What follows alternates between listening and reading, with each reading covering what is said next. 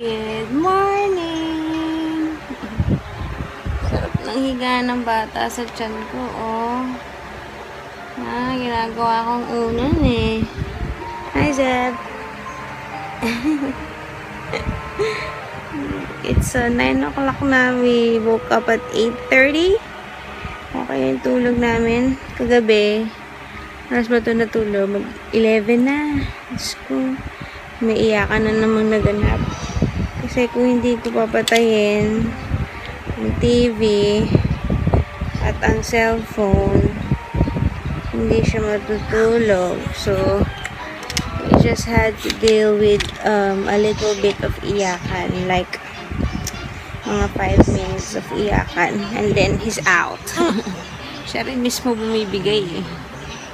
Ha? diba? Can I have a kiss naman? Can I have a kiss? Ha? Please, good morning, Zeb. Hello. Iniwan mo na ako pagkatapos mo ako gawing unan. Hmm, aray. So, today is my checkup. Mamaya pa, ano, mga past 2. Dahil 2 to 4 yung schedule lang ubi ko dito sa malapit. So, ganun ulit. Hopefully, makatulog si Zeb na maaga para mas madaling umalis. Hindi ko kailang tumakas ng pasimple. Pero bang tumatakas ng ano, hindi pa simple. anyway, so yun, yun ang aking major agenda today. I'm excited. Nahiya ako sabihin sa doctor ay, mo naman ako. Gusto ko malaman kung nagdadilate na ako kasi anong sakit-sakit na eh. Anong, ano ko eh. Pero kasi, di ba, isi-CS niya naman ako sa Monday. Ewan ko ah, nahiya ako. ah, naghiya ako mag-request na siyang ah, sabihin siya. Ewan ko lang kasi kung gagawin niya. Anyways, grabe. Nakaka, yung, yung chan ko talaga, feel na feel mo. Pag nag-shift ako ng position, feel mo din si baby. Nahuhulog sa left. Pag sa right, mahuhulog siya sa right. Hirap na ako. Grabe. I'm so ready for you, baby. Nakatabingi na naman siya. Hindi kita dito. Anyway. So. Good morning. Happy Friday. Si Daddy. Si Daddy kahapon, alam niyo, hindi pumasok. Tinatamad ng pumasok. Pero today, papasok siya. Sabi ko, enjoy your last day of work. Kasi matagal-tagal siya mababakasyon. Sayang talaga. Sana makaka-uwi na siya bukas eh. Anyway. See you later. Hi guys. Dito kami sa may kusina. Kasi si Seb Gavin nabuburyo na sa room. Eh sa garahe naman ano, basa, nililinis ni Sel yung garahe. So, wala kami pang tambayan kundi sa kusina. Then sila, dyan yung kwarto nila sa Uy! Say hi, George! Hmm, nag-hi siya sa aso. Say hi. He's sleeping. Hindi ka naman kasha eh. Hmm?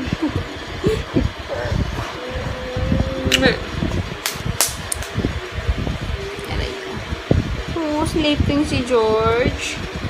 Huh? Down, go down. Yeah. Down na. Ay, nako. Pagod. Hi, guys! It's ano na. Almost 2 o'clock. Aalis kami ni Papa ng mga 2.30. So, ay, Zeb. Hoping na makatulog na si Zeb Gavin. I'm wearing this pangbuntis na dress. Anyways, hala, hala, may ikot-ikot pa. Ay, hinaantok din ako eh. Gusto ko mag-nap. Kaso, mukhang hindi ako makakanap today. Hopefully, makabalik kami kaagad. Anyway, balitaan ko kayo ako na magaganap sa aking check-up today. I don't think makakagawa na ako ng ang tawag dyan? pregnancy update. Kasi, I don't have the time anymore. So, yeah, update ko na lang kayo dito sa vlog. Hi guys, tulog na si Zeb. And, yung kapatid ko yung nagbabantay kasama sa kwarto today. Eh, ngayon, hintay ko lang si Papa and we're gonna go. It's 2.30 na eh. Sabi ko 2.30 kami alis. Buti na lang nakatulog na si Zeb. Ang init. Ang laki-laki ko na. Grabe. I'm so ready to pop out. I am so ready for you, Zach. Ooh, two more days. Anyways. Ah, three pala. Check ko na si Papa. Hey guys, we're back home. I'm sorry for the mess. Dumating kami mga 4. Mabilis lang. Pag, well, pagdating namin, wala pa yung ubi ko. And then, se pang second lang ako. And super bilis lang naman din kasi ano lang, binigyan niya na ako ng last minute orders, binigyan niya na ako ng admitting orders para pagdating sa hospital on Monday, diretso na ako doon, tapos nandun na sa papel nakasulat yung mga kailangan nilang gawin. So, yun. Tinanong ko ano yung pinaka-late na dapat ako nasa hospital. 10pm naman pala. Although, I don't want na 10pm dumating kasi ano pagdating ko pa doon i-admit pa ilalagay pa ako doon sa triage na room na ihuhook pa ako sa fetal monitor. Tapos kung ano-ano pa yung gagawin. Tapos syempre tsaka pa lang ako ng kwarto. Paano kung walang available na room? Tapos mag-iintay pa kami. Eh nakasked ako 7 a.m. oh my gosh! 7 a.m. Look at your teeth! Grabe, di ba? So, ayun. Ayoko naman ng super late kasi baka hindi na ako makapahinga. Pero, I feel like hindi ako makakatulog sa gabing yun. Feeling ko hindi ako makakatulog. So, ayun. Kaya, sabihin ko kay daddy, huwag kami super late. So, ma pero sabi niya, yung dinner ko dapat light dinner. So, tama lang. Kung alis kami ng... Well, hindi tama. Ang unang bala ko kasi, alis kami ng mga 4 dito, 'di ba? Tapos kung makakain kami sa Zargs or wherever sa BF, kahit sa BF lang, dami kasing kainan diyan sa BF para niya, 'di ba? Ayun. Yun hindi yun he, hindi yun light kasi I'm gonna re, I'm really gonna pig out. well, hindi naman sobra. Pero yun, kung burger, lalaki kasi ng burger eh. Tapos siguro, ang last ang last food intake ko 12 midnight daw eh. So, pwede pa rin ako kumain. Pero light lang. Are you excited? Huh? Ngipin mo. Look. Look at you. Look at your teeth. E. Show your teeth. Look at your teeth. Uy. Tuwing pumapasok sa kwarto nila mama, chocolate ang pinupuntirya dun sa ref. Anyways, so yun, hindi ko pa nababalita kay daddy sa inyo ko lang nasabi. Ay, nako. Uh. Nakita niya nga yung result ng biophysical score. Sabi niya, ang laki nga daw. Kasi, oy, oy, don't eat that. Same nga with Zeb. Sabi niya, tapos nangangarap ka pang mag-normal. Malaki daw yan.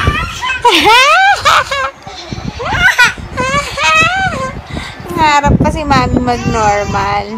Sabi niya, before, sabi niya sa akin, kung gusto ko talaga, merong parang test na ginagawa na ime-measure yata yung pelvic something kung kakayanin. Eh, sabi niya lang yung sa akin, yung last na check-up ko, parang I don't want to bother.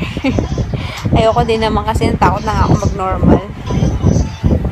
Anyways, so yun. Pagdating ko, gising na si Zeb. 3.30 daw nagising. So, ayan. Saglit lang siya nag-nap today. So, mamayang gabi, it wouldn't be so hard. Pero, ang sad lang kasi hindi pa ako nakanap. Naantok ako.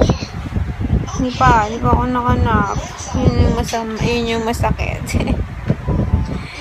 Ayan, so, see you guys later. Hindi niya, ay, sorry, hindi pala niya ako inai Nahiya naman din kasi ako sabihin na i-IE mo ako. Ewan ko kung pag check in ako or inadmit ako kung i-IE ako. Meron pa bang point? Gusto ko lang kasi malaman, nag-dilate ba ako or what. Although I don't, wala akong nararamdaman kahit ano, parang imposible. Hey! Come here! Okay, so yun. See you guys later. Hi guys. Nandito pa din ako sa pwesto ko. Kanina pa.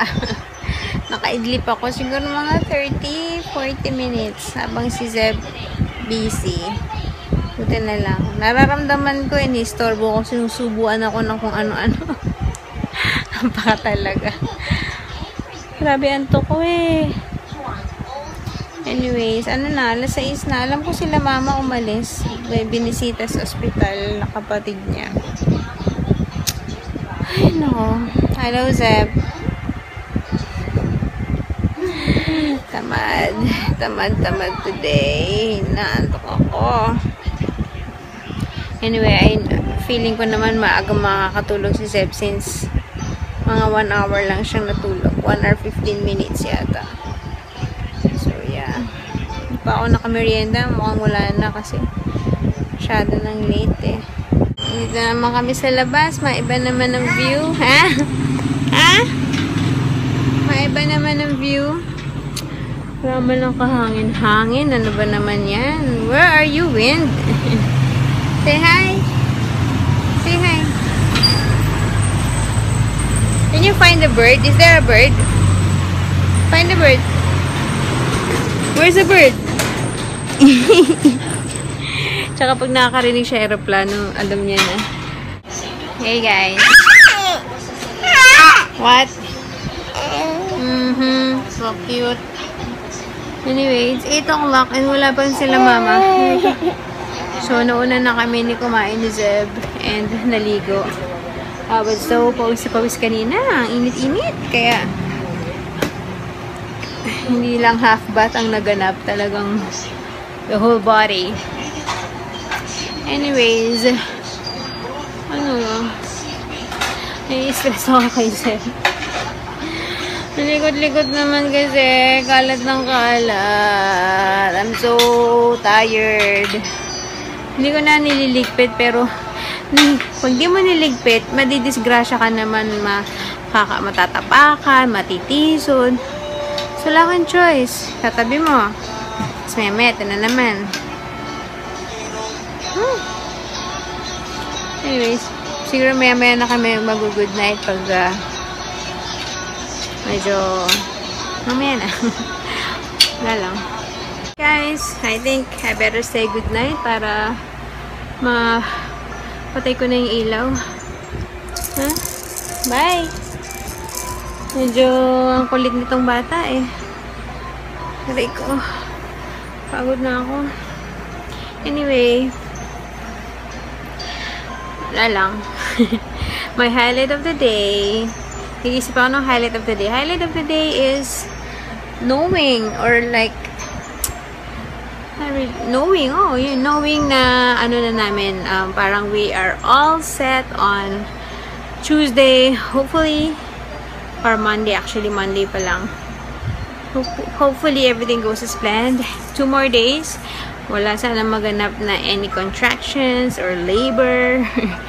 Maintay sana kami ni baby. Yun. Talaga. Kung makakauwi na si daddy sana bukas. Pero malabo na yun. So, yeah. Taste na lang. And, yun. I'm so tired. Grabe. Wala kasi akong palang na ano ngayon, no yung nap ko lang 30 or 40 minutes. Sakit na ng likod ko, sakit na ng balakang ko. I feel everything. Tapos si Zeb pa, nakakarindi na yung ngawa. Nakakarindi Zeb. Anyway, so yun. Good night people. I'll see you tomorrow. Thanks for watching. Say bye-bye. Zeb, say bye-bye. Good night. Behave. Are you gonna behave? Are you gonna show them how you pray? In the name of the Father, of the Son, the Holy Spirit. Amen. Okay, later we will pray again, ha? Okay, bye guys.